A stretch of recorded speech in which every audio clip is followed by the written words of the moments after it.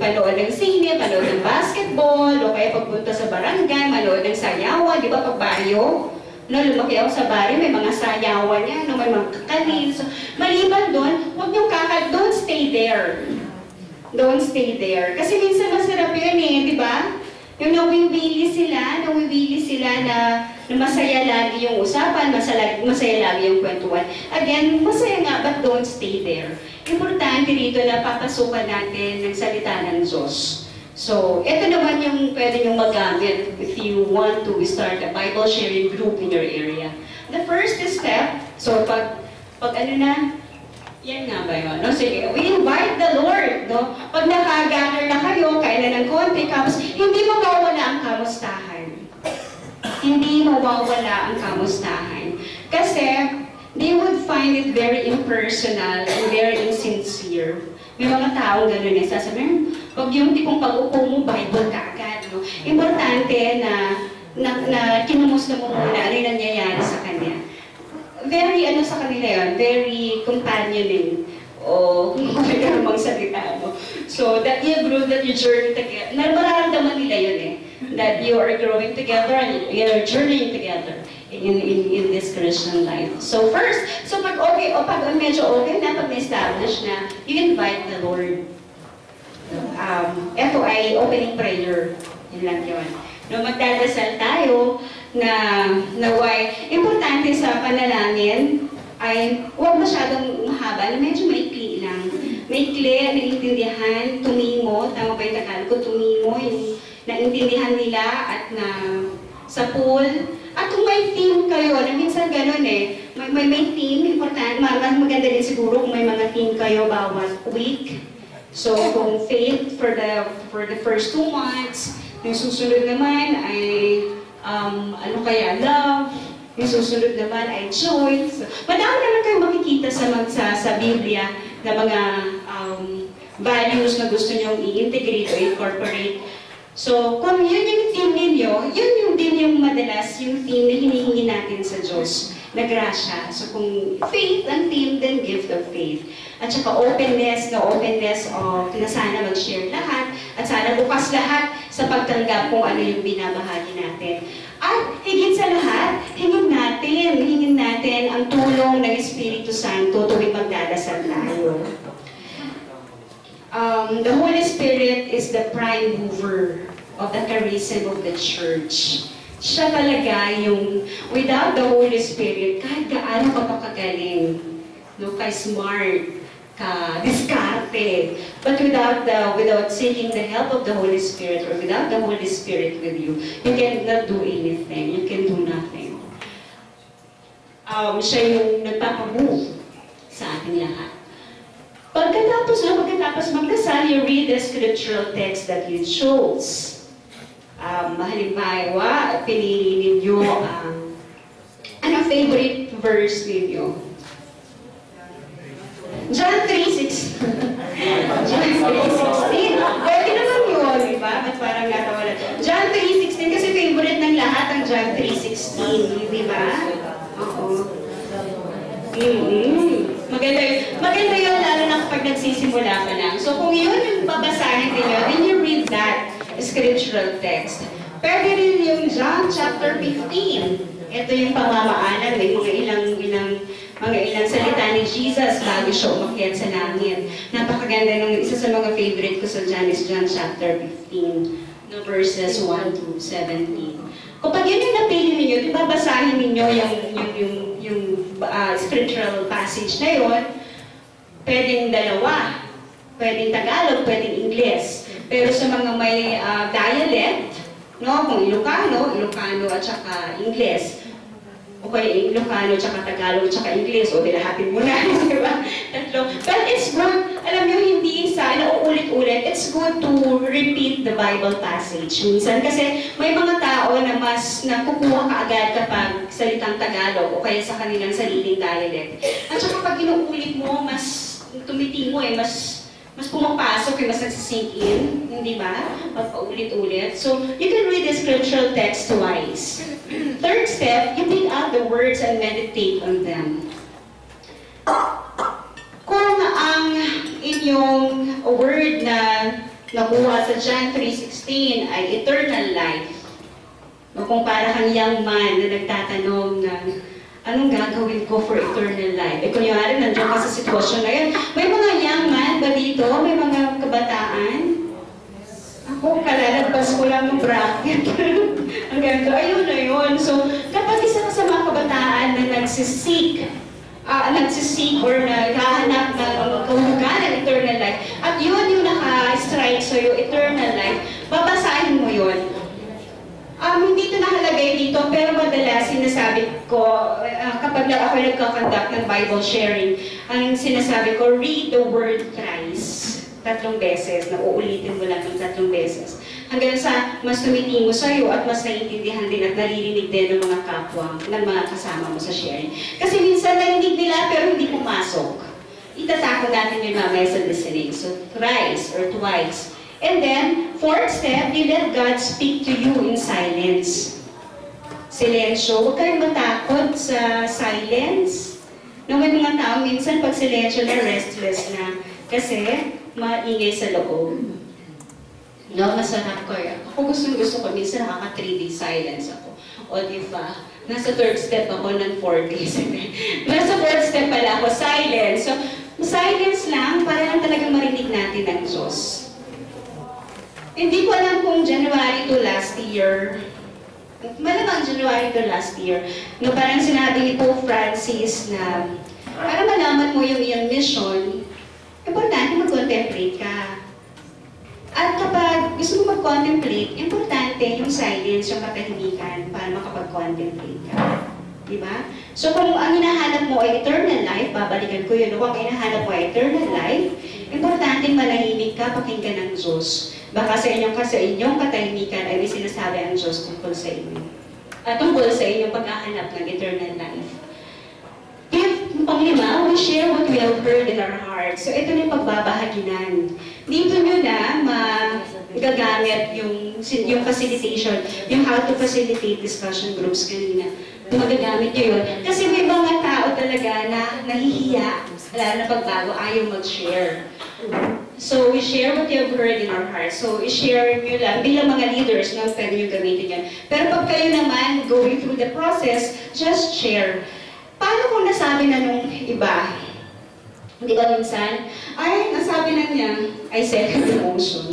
No, hindi pwede yun. Sabihin mo pa rin, sabihin mo pa rin kung ano yung sinabi. Kasi minsan contextualize naman eh. Uh, parehas ang mensahe, pero sa kanyang buhay, parehas ang mensahe, pero sa iyong sariling buhay. Hindi ba? So sabihin mo pa kung anong sinabi ng Diyos. At minsan, alam nyo, confirmation yon that the Lord is telling you the same message, minsan in-review. Na minsan pag pare-parehas kayo ng na-reflect, na o kahit paano, same color, no, same theme, minsan may sinasabi ang Diyos talaga sa inyo, ang Espiritu Santo. So it's a confirmation. So sabihin nyo lang, huwag kayo mahihiya, hindi porket nasabi na ng isa, ay sasabihin nyo, ay hindi nyo nasasabihin.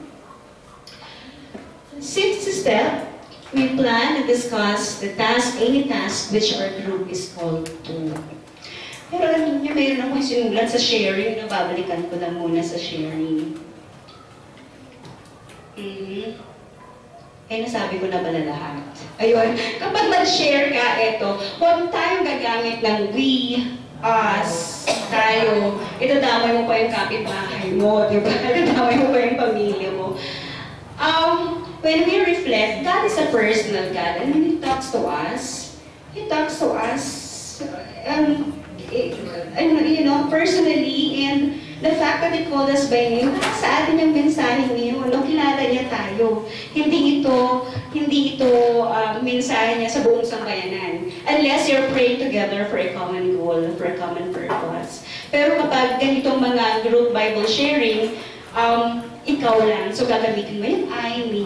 So, kapag may mga, as leaders, yung mga leaders na nandito, as leaders, as facilitators, merong kayong napakagandang role, katulad ng sinabi ko kanina nung mag-share kayo.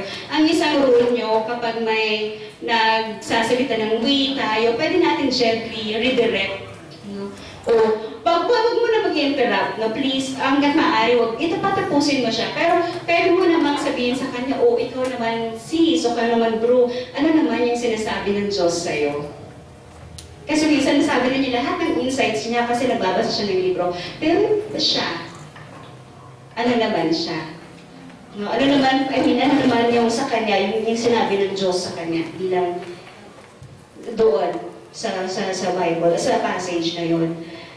Uh, pwedeng mag-discuss pero pagkatapos na lahat ng sharings, ito, and now I'm talking to the leaders or to the facilitators in their area, no? katulad din ng Kuya Jerry. Siguro, kung sino yung may nakikita ko ay mga Mandarin, at saka may mga pari, so alam na alam niyo na to, pero uulitin ko din lang, ano, kapag lalo-lalo na may kaalaman na tayo at matagal na tayong nag, uh, nagsaserve kay God. So, ang dami-dami na nating alam. So, minsan pag may nag-share at minsan ay confused pa yung tao, in doubt. Minsan ba ang sarap-sarap, ang sarap-sarap sumingit, di ba? Nasabihin niya sa kanya, alam mo, ganito, ganyan. So ayon sa mga nalalaman mo.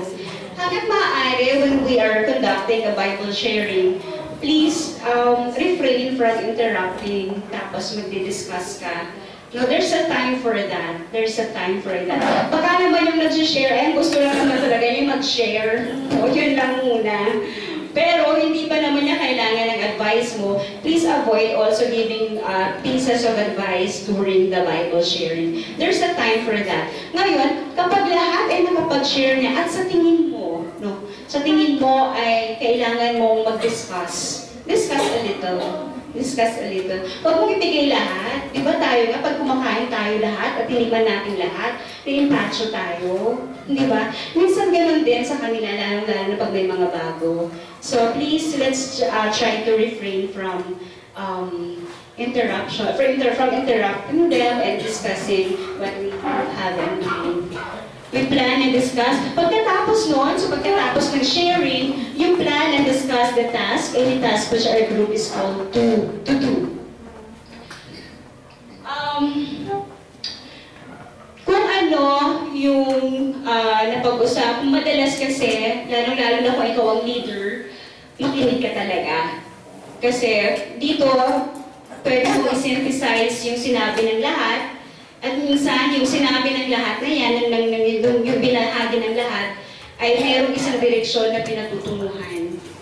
No, kung ang direksyon na iyon ay magparami tayo, no, let's invite more members of our group. Kung iyon ang direksyon ng lahat ng bahagi ng lahat ng sharing, magplano kayo kung kayo ngayon kung paano ninyo gagawin ito.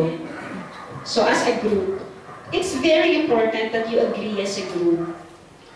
Hindi, ay sa tingin ko, ito lang, no? ito yung gagawin natin at ikaw na, at ikaw na nagsabi kung anong gagawin ng isang grupo. Eh, hindi naman pala nag-agree yung iba. So that's very sensitive to that.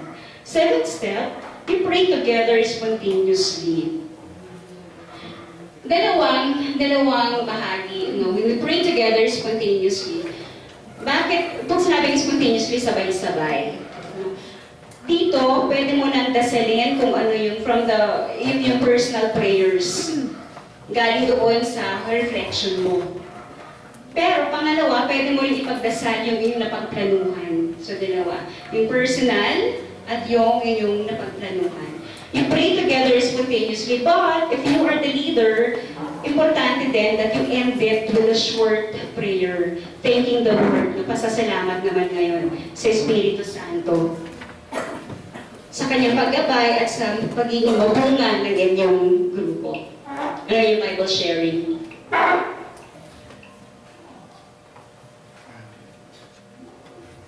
Wala na. Ay, listening skills. Um, pero bago yun, so yun na talaga yun, sigurado ka sa may no? Um, may, may, may ano, may dudugtong lang ako dun sa bumalik na lang tayo dun sa ano, konti lang.